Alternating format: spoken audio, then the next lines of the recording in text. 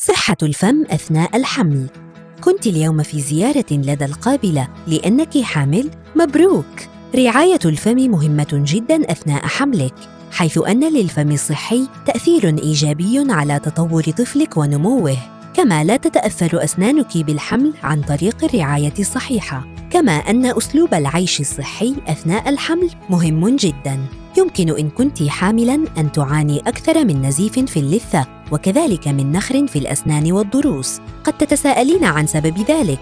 هناك أسباب مختلفة لذلك ونسطرها لك هنا. الأول هو رواسب الأسنان وهي طبقة بيضاء مصفرة على أسنانك وتحتوي على الكثير من البكتيريا. تؤدي هذه البكتيريا إلى نزيف اللثة ونخر في الأسنان. يمكنك إزالة رواسب الأسنان بنفسك عن طريق التنظيف الجيد.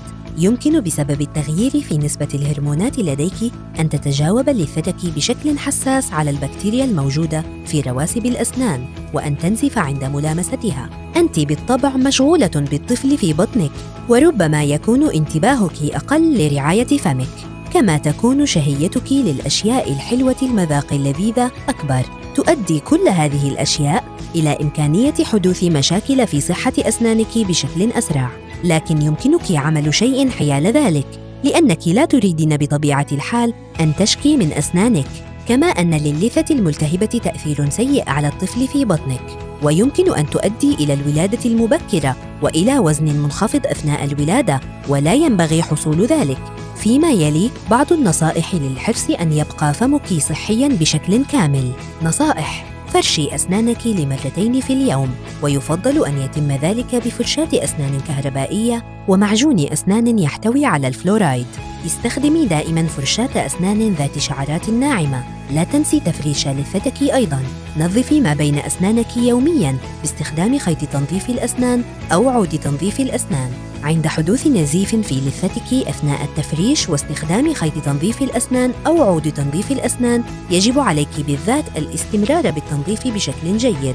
سوف يزول الالتهاب عندئذ بسرعة. انتبهي إلى أن تأكلي بشكل صحي. تناولي كمية كافية من الخضار والفواكه يومياً. واحذري من الحلويات. واشربي خاصة كمية كافية من الماء. لترا ونصفا يوميا بالتأكيد.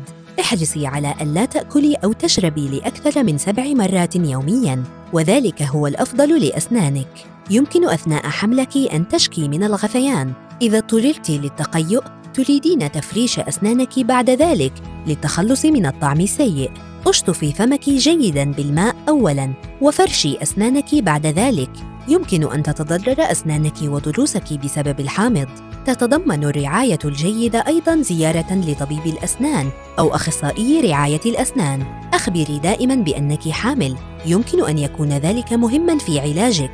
يمكن أن تتم أغلب العلاجات بشكل عادي بدون مخاطر. زيارة طبيب الأسنان أو أخصائية رعاية الأسنان بشكل أكثر قليلاً فكرة جيدة، ويمكنهما منحك نصائح للحفاظ على لثتك بشكل صحي. والحرص على عدم حدوث نخر في الأسنان. يبقى فمك صحياً بذلك، ولذلك تأثير إيجابي على تطور طفلك ونموه.